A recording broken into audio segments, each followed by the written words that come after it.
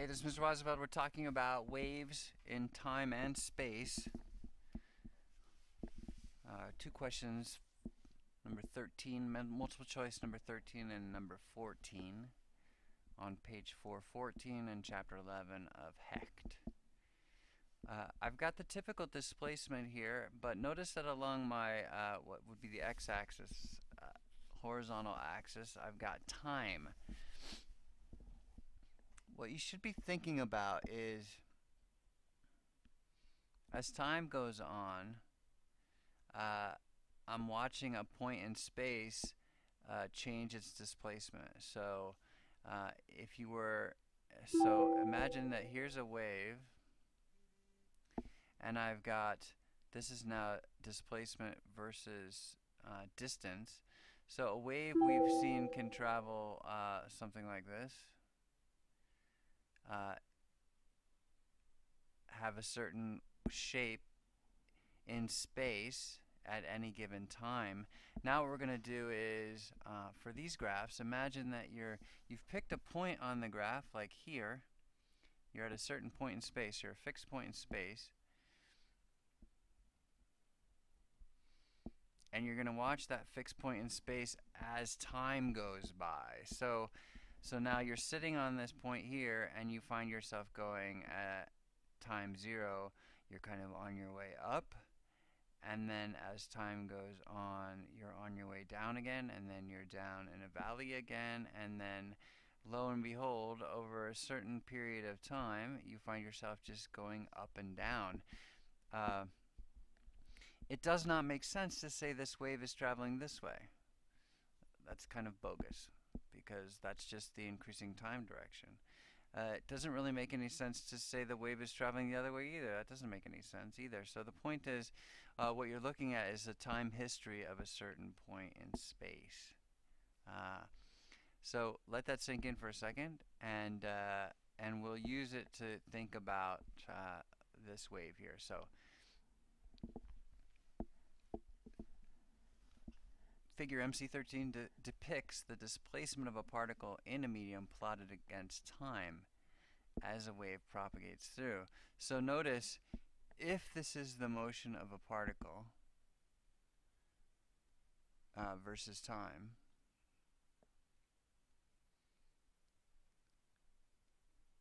you can conclude, you can conclude that this particle is uh, being influenced by a wave. Uh, notice the power of that statement right here. Did I see the wave? No. Uh, do I know what the wave looks like? Do I know the wavelength of the wave? Do I know anything about that wave? Um, not necessarily. Wavelength is a space relationship, and this is about time and amplitude. It's not necessarily about how this wave looks in space. Uh, so keep track of that for a second. Um, the period of this wave, so remember that period, t, period, is the time between cycles. In other words, it's seconds per cycle.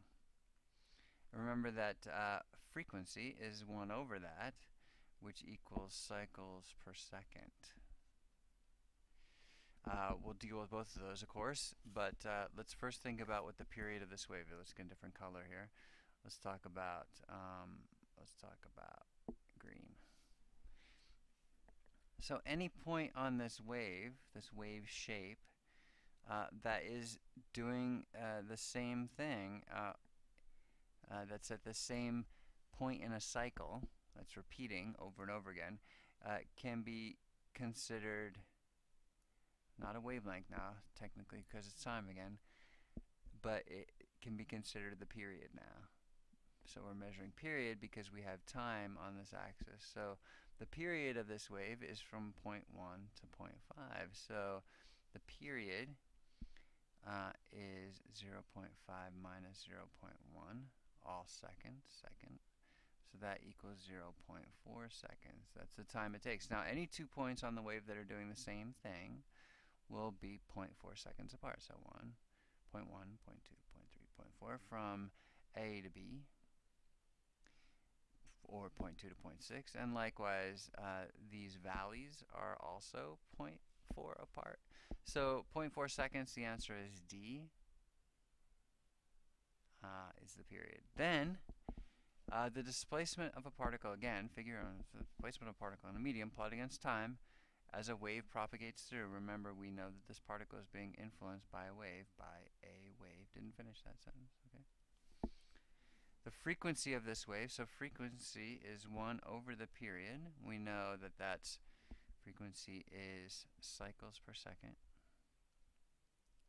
If I know that one cycle, this is uh, seconds per cycle. If I know that uh, 1 over 0 0.4 seconds is now going to give me uh, 1 over seconds per cycle, so cycles per second, that is basically um, 4 divided by 10 or 2 into 5, 2.5 hertz. So 2.5 hertz um, A.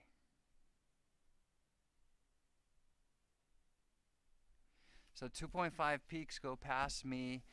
Uh, yeah, 2.5 peaks go past, well actually one, two, three. The third one comes by and a half in a, in a second and uh, and that seems consistent with how this is being measured here because we basically said that every 0.4 seconds I'm going up and down uh, or I have gone down I've gone up I've started from the topmost point gone down and then come back up again at 0.4 seconds that makes sense that it's 2.5 cycles per second so uh, those are the solutions and that's some of the discussion for these questions. Thanks for listening.